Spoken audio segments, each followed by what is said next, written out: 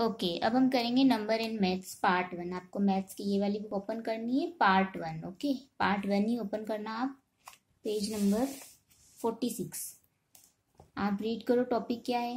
H E A V Y heavy क्या लिखा हुआ है ये? हेवी इसको टेन टाइम आपको रीड करना है हेवी एंड लाइट स्पेलिंग बोल के H E A V Y heavy and light अगर आपको ये शब्द पढ़, ये वर्ड पढ़ना आएगा रीड करना आएगा तो ही आप ये एक्टिविटी कर सकते हैं। अदरवाइज़ आपको पढ़ना नहीं आएगा और इनके मतलब नहीं पता होंगे तो आप ये एक्टिविटी नहीं कर सकते। तो आपको टेन टाइम्स हेवी और लाइट की स्पेलिंग लर्न करनी है। प्लस आपको इनका मतलब समझना है कि क्या होता है। हेवी मीन्स होता है भारी लाइट मीन्स होता है हल्का। ठीक है?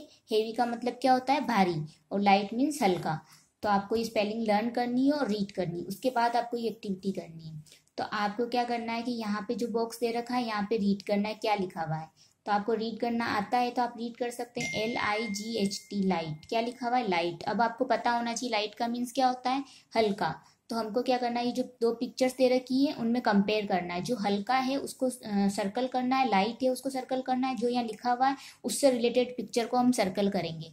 ठीक है तो हमारे पास लिखा हुआ है लाइट लाइट मीन्स हल्का। तो हम कंपेयर करेंगे, ये कोकोनट है और ये स्ट्रॉबेरी है। तो कोकोनट और स्ट्रॉबेरी में क्या हल्का होता है और क्या भारी होता है? हेवी और लाइट तो मुझे लगता है कि स्ट्रॉबेरी लाइट होती है तो हम स्ट्रॉबेरी को सर्कल कर देंगे, क्योंकि हमारे पास यहाँ लाइट लिखा हुआ है। नेक्स्ट बॉक्स में हम देखेंगे H E A V Y heavy यहाँ पे हेवी लिखा हुआ है तो हमको यहाँ कंपेयर करना है कि हेवी कौन सा है। तो हम, हमारे पास क्या है? एक लीफ है और एक ब्रांच है। तो लीफ तो लाइट होती है और ये ब्रांच है, ये कितनी हेवी है, कितनी भारी है ना? तो हम इस हेवी वाले को इस तरह से सर्कल करेंगे क्योंकि हमें यहाँ पे हेवी वर्ड दिया हुआ है।